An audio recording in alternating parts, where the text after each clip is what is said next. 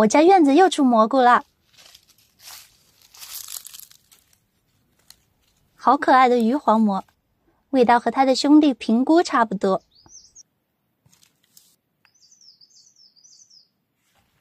今天继续带我的小粉丝去采蘑菇，发现了一个大鹅膏，它和会造成急性肾损害的甲褐云斑鹅膏是无法肉眼区分的。看旁边还有两个小鸡蛋宝宝。什么？看菌盖边缘有没有悬挂木帘啊？看菌环是不是顶生啊？看子实体大小啊？这些都是不靠谱的方法。这个是。从形态上区别它们的唯一的简单的方法，只有看孢子。草鸡中的孢子近球形，比较圆；甲褐云斑鹅膏的孢子椭圆形，稍微长一些。所以家里没有显微镜的小伙伴，求求你们不要再尝试这款鹅膏了，知道了吗？这个毒孔菌好可爱，就像一顶冬天的毛边帽子。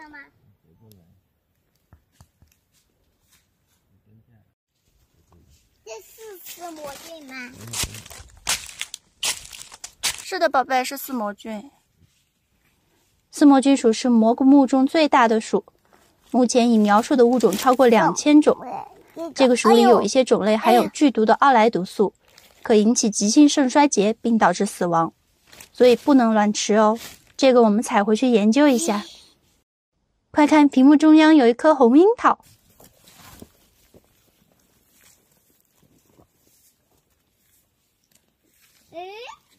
天哪，好可爱的红菇啊，简直像假的一样。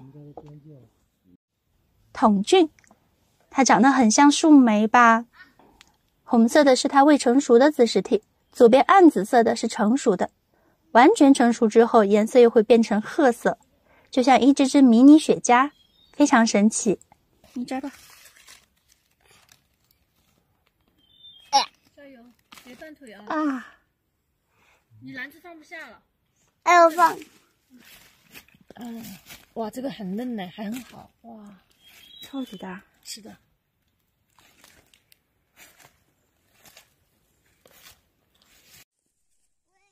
这个很好吃的，又很容易辨认，分支长得很像花菜，对吧？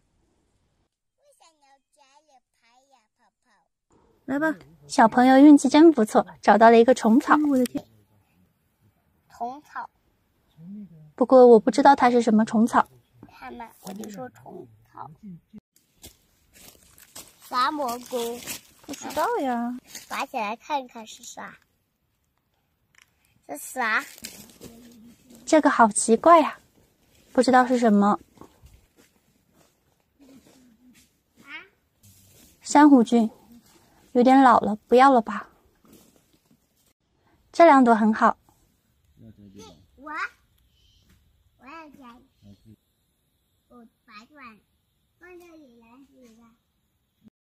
发财了，有那么多金耳！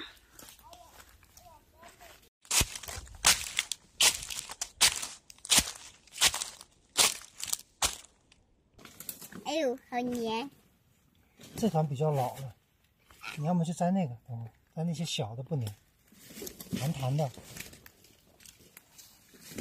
脑状的。这团太老了，这个。哎呦，这么大。太软的就不用了。这个，嗯，像果冻一样是吗？对呀。还有那里有一个很小的，又。这个通常看到就只有一颗两颗的，这里真多。下午小粉丝回家了，我继续去采蘑菇。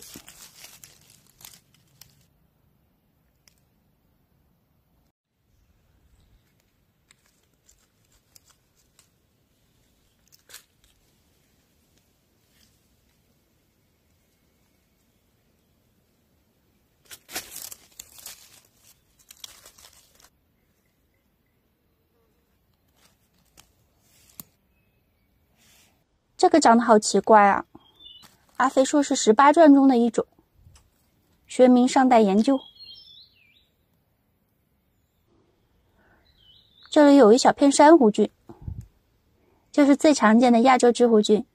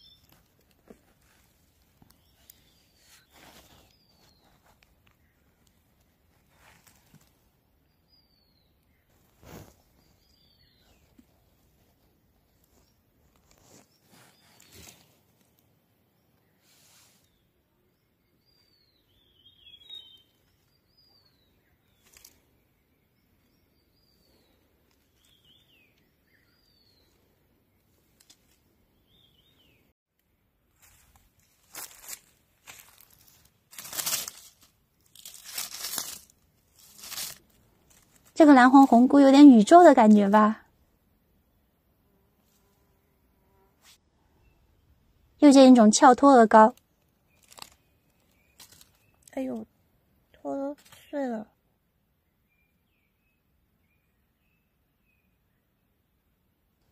拿回去研究。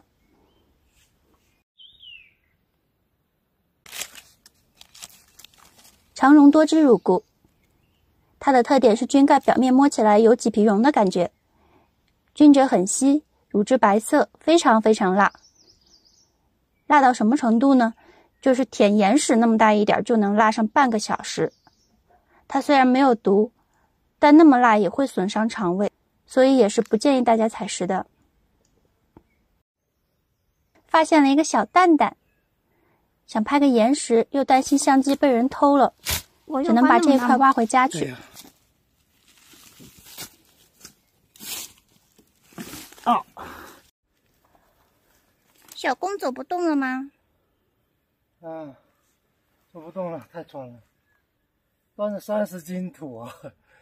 那有三十斤，我觉得比那个电池重啊！谁让你要挖那么大一土？我们原来水井抽水的那个垫子不是三十五斤吗？比那个重，关键还要端着爬山，这个有点过分。走走停停吧。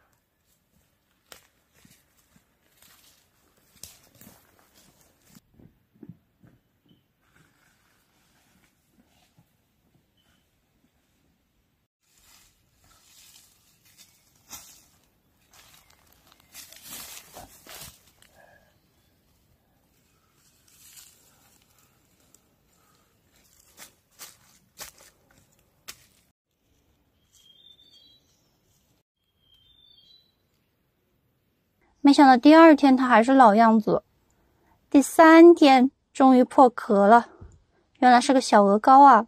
天气太干燥了，又过了三天才长大了一点，然后，然后就没有然后了。下次争取拍到竹孙的一生给你们看吧，下次见，拜拜。